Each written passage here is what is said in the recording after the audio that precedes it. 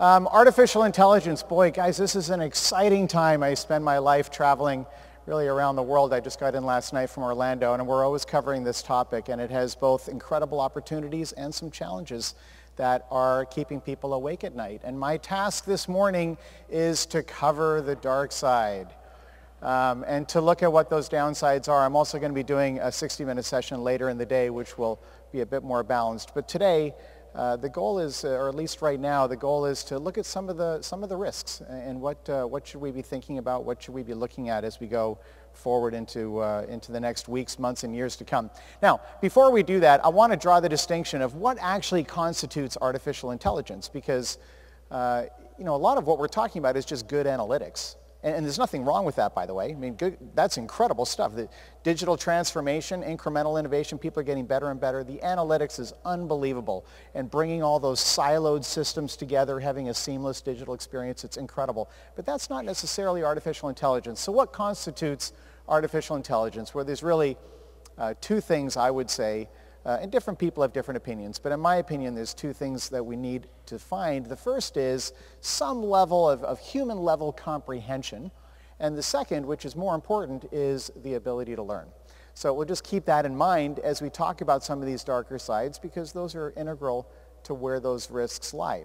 So um, the downsides or the dark side to artificial intelligence, I'm going to really cover three primary areas. And there, there's more, but we've got a 15-minute session here, so we've got to you know, look at the big ones. And the first one, I would say, without question, is job displacement. And we've heard about this in the news. We've heard about it all over the place, and it's very real, and it's coming quicker than people think. So we'll talk about that. Number two, this idea of a single monolithic AI. This is the glamorous one, right? This is what Elon Musk has talked about, and Stephen Hawking, and even Bill Gates and others. Uh, we'll talk about that as well. And third, which I think is uh, maybe the most important, is a concept that I refer to as the second wave. And I'll describe that for you in just a little bit, the second wave. But the bottom line is there are changes coming, and there's risks, and there's um, arguably some chaos on the, on the horizon. And this is actually what my, uh, what my book is about, so I'm super passionate about this topic. Uh, there is change coming, and again, it's, it's changing at a wholesale level, our culture.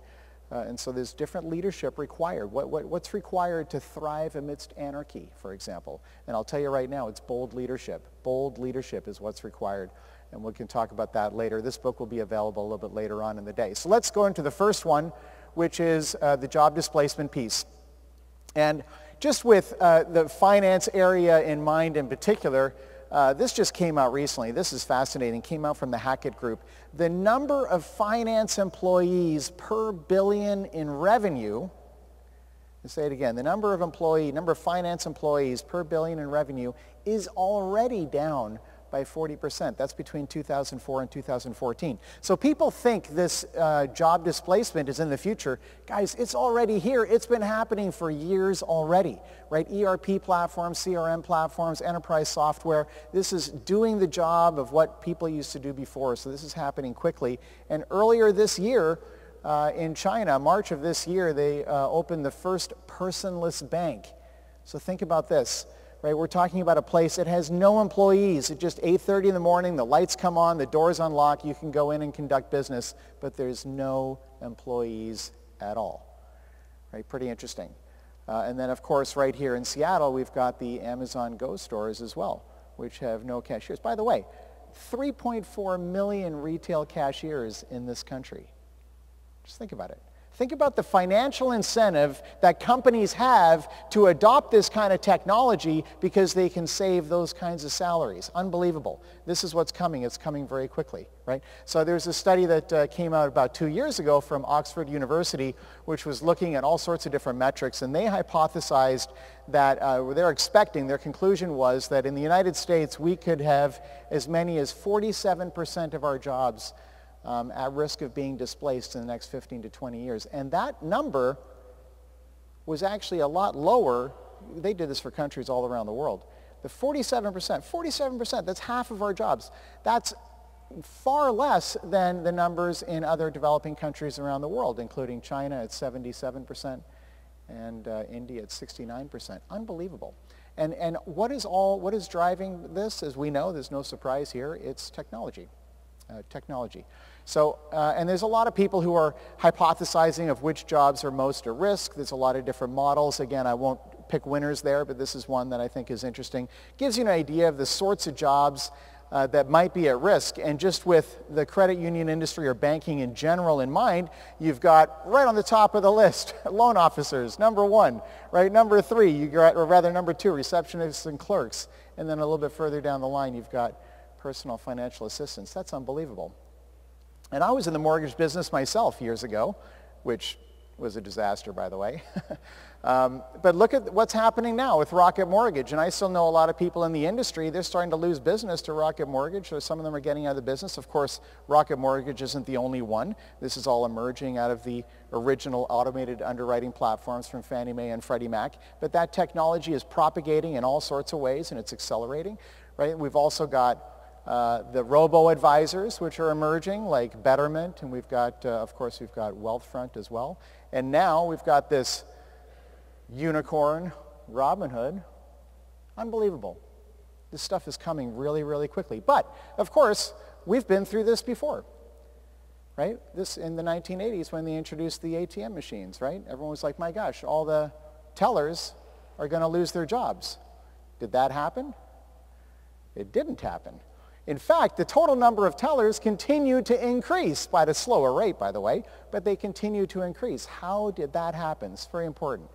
It turns out that if you automate some of the repetitive tasks like withdrawals and deposits, right, essentially you need fewer tellers per branch to make it functional right? Which lowers the break even of what it costs, what what's required to open a new branch in a new, new neighborhood. So all of a sudden, banks were opening neighborhoods in all sorts of different neighborhoods where before they were only in the city center. And so now there's way more branches overall, fewer tellers in each branch, but when you add them all up totally, you've got more tellers overall because it lowered the break even.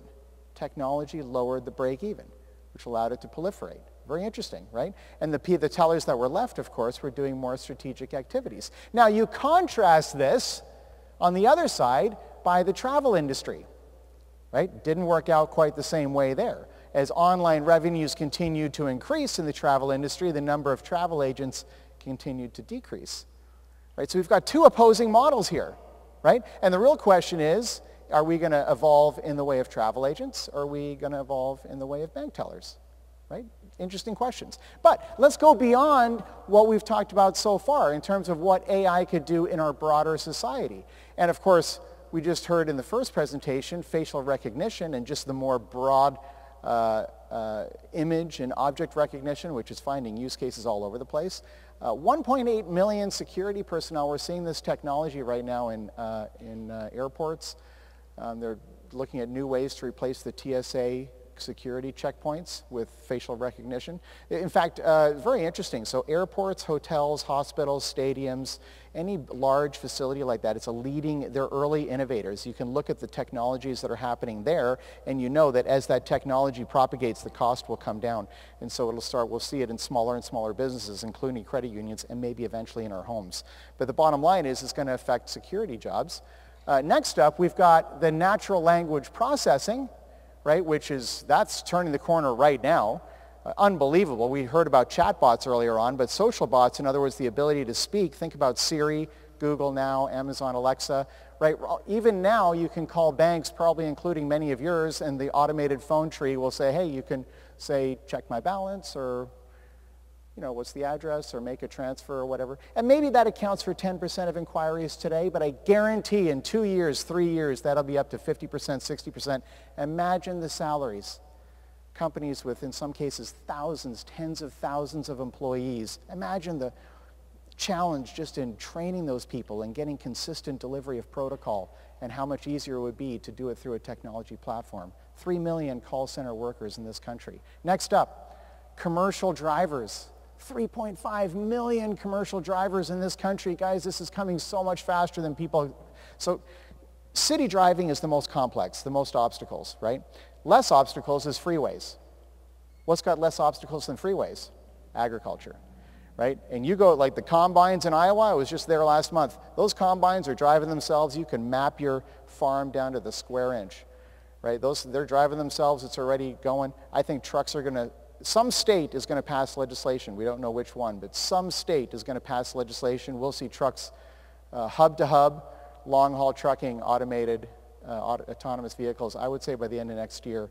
And city driving, uh, five years, I would say, a significant thing. So this job displacement piece is coming and it's coming quick. I'll go into more detail, by the way, in my longer session later on. But the second one is the big one. That's the one that everyone wants to talk about.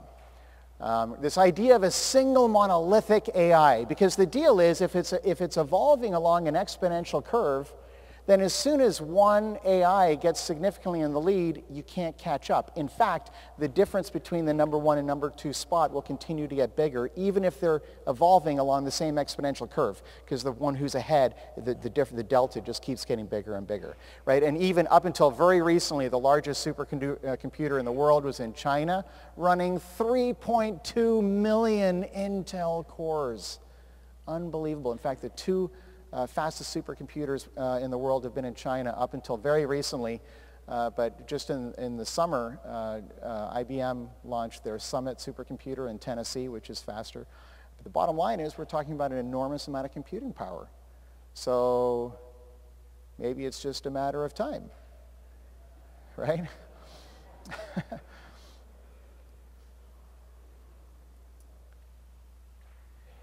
it's still pretty far out. Now, the fact that it's far out doesn't make it any less of a concern, to be, to be fair. But is it an imminent threat? No, it really is not.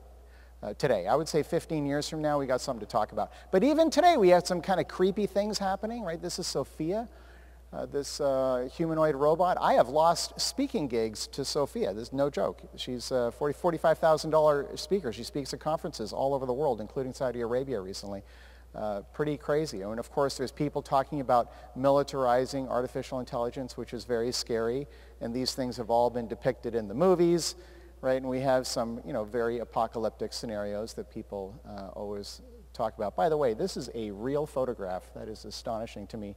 So, but there's also a lot of people spending a lot of time and a lot of experts really trying to put some limits on this and trying to govern how it's evolving. Uh, companies including OpenAI, which was founded by Elon Musk, but there are others.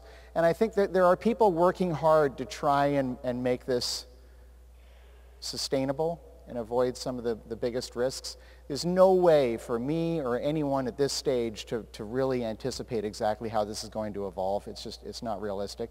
But it, I would say at this point it's a real risk, but we're talking 15 years, I think, before there's any real uh, threats that we have to consider. Now, the third one, uh, which is the one I mentioned right at the beginning, and I think this is the one uh, that gets pretty scary, and it's, it's, I would argue it's already here. So this idea of the, the second wave, whenever new technology comes, right, whenever new technology is developed, at the beginning you have the first wave, right?